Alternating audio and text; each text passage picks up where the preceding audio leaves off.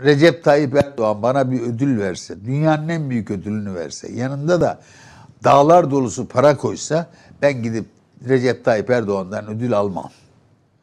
Çünkü o ödülü bu akılsız halkın verdiği oylarla aldı zaten ama ödülü kötü kullandı. Ben serzenişimi şöyle belirttim. Keşke almasaydı dedim o ödülü. Aşı önce kendilerine yaptılar. Bir kere en büyük yanlış bu. Recep Tayyip Erdoğan kalktı aşı yaptı. Bir de şovunu yaptı üstelik. Gösterdi. Aşıyı kendilerini yaptılar ve şov yaptılar diyorsunuz. Ne yapmaları gerekiyordu normalde? Öncelikle bu ülkedeki sağlık çalışanlarının başındaki bela, en büyük bela sağlık çalışanlarının başında. Onlar aşı yapıp şov yapacaklarına önce sağlık çalışanlarına aşı önceliği tanımalıydılar. Bu bir. ikincisi 65 yaş ve üstü risk grupları içerisine dahil edildi.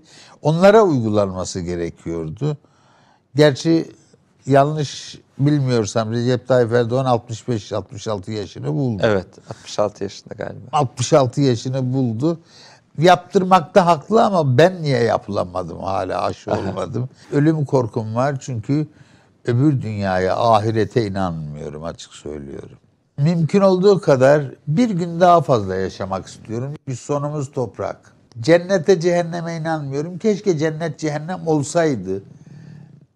Buna inanıyorum. Olsaydı ben cehennemi tercih ederdim. Çünkü insanın havanın ve e, denizin soğuğundan nefret ederim. Cennette bari e, zebanilerin kaynadıkları kay, kazanda Cehennemde.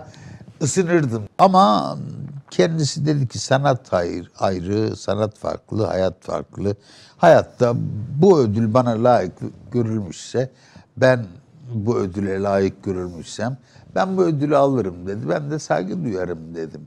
Ama kendim yapamam. O benim en yakın dostum, abim, arkadaşım, yoldaşım.